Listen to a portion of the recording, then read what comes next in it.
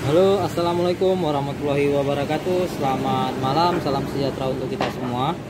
Jadi di sini saya ingin membagikan bagaimana cara mengecek koil itu atau masih mati atau masih hidup.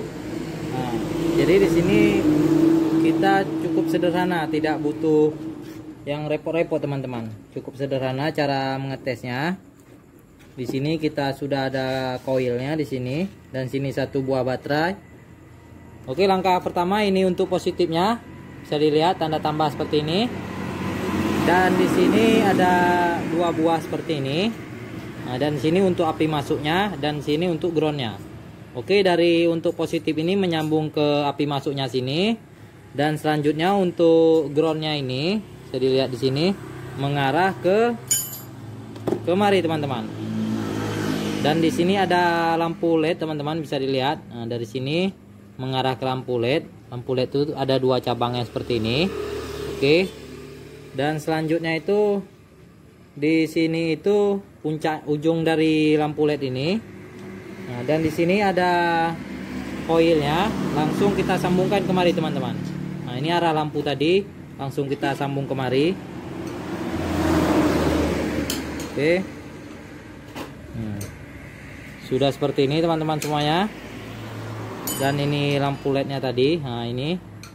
Nah, oke okay, dan ini untuk negatifnya langsung yang di sini teman-teman wire-nya. Oke. Okay. nah, kita sepertikan ini ya.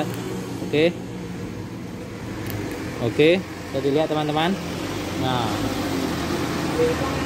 Nah menyala lampunya kita dekatkan lagi. Bentar teman-teman ya. nah. Oke.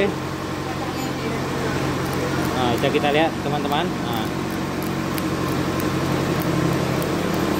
ini masih koilnya masih bagus teman-teman. Tapi kalau yang sudah mati memang sama sekali tidak mau menyala teman-teman. Hmm, jadi begitu teman-teman. Mungkin itu dulu yang bisa saya sampaikan. Semoga bermanfaat buat teman-teman. Untuk mau mengeceknya lagi tidak usah susah-susah teman-teman. Nah jadi caranya cukup mudah simple sekali teman-teman.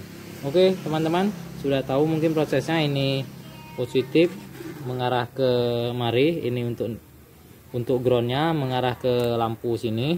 Nah, dan lampu ini mengarah ke ujung koil teman-teman. Nah sini tinggal kita seperti ini teman-teman. Lampu ini ya kalau bagus dia akan menyala teman-teman. Terlihat lampunya.